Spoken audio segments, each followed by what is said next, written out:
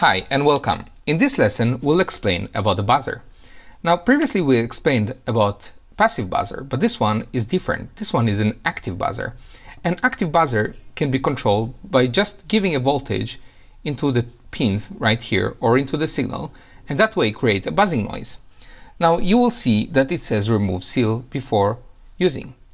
The reason is because we want to protect the buzzer. We can take the pin out right now and take a look closer at the buzzer we can see that the positive side is right here.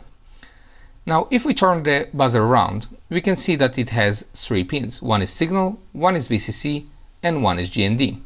We will use these three pins in order to control the buzzer and send buzzing noise using the GPIO.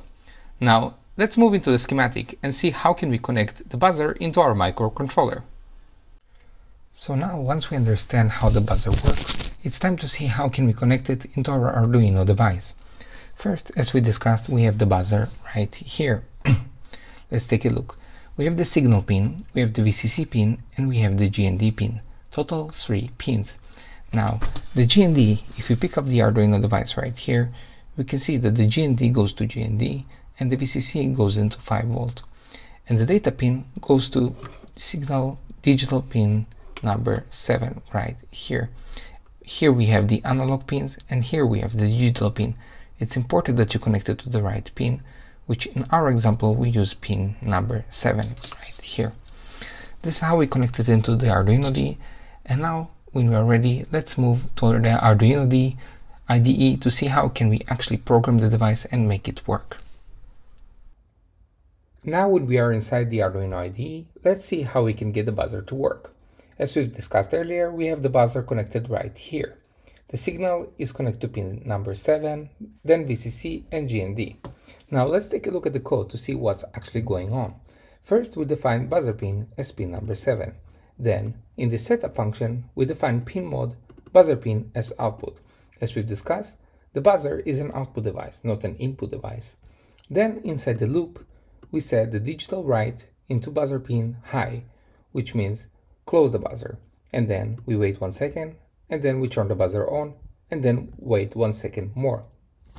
Now, what does it actually mean? It means we turn off the buzzer, wait one second, and turn on the buzzer again, and wait one second, and then repeat it in a loop. This makes a buzzing noise, kind of like a beep, beep, beep, that repeats itself all over again. Let's run the code and see what's going on. I'm going to cover the buzzer a little bit because the noise is quite noisy.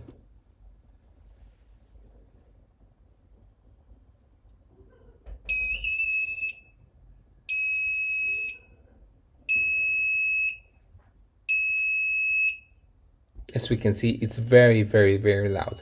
Now in order to stop the program I'm just gonna remove the turning on and I'm gonna upload the code once again. And that's it. The buzzer will stop.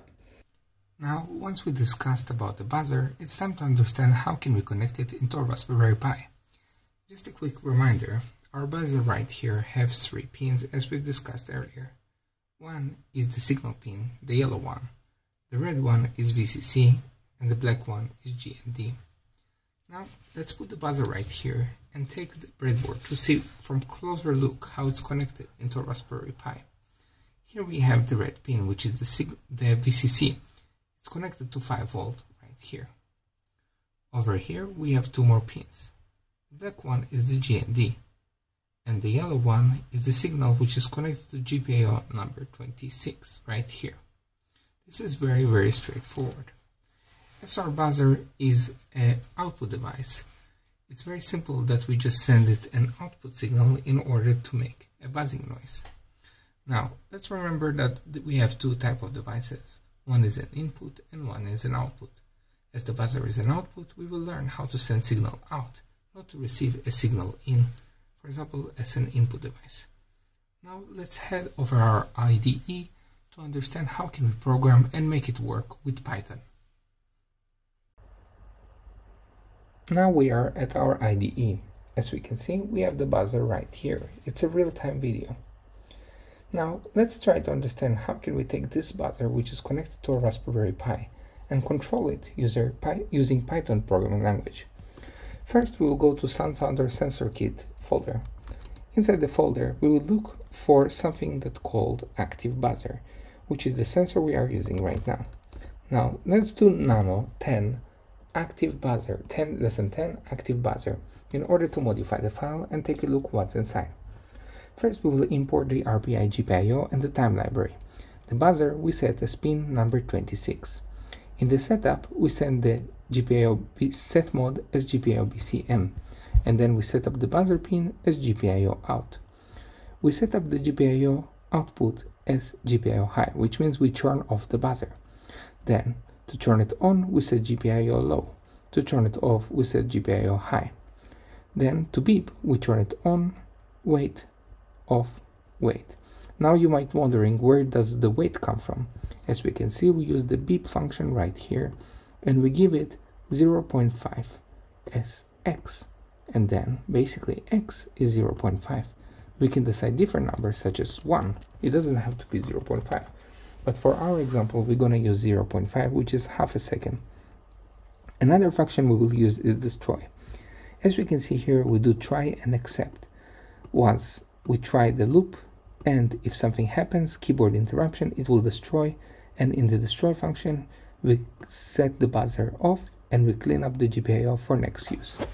Now let's quit the software and try to run the program using the Python 10 active buzzer. Now the buzzer is very very loud so I'm gonna just put my finger over it in order to cover the noise.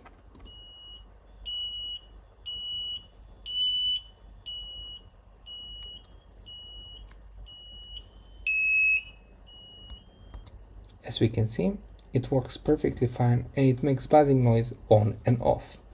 I hope you enjoyed the lesson and learned something new. I'll see you next time.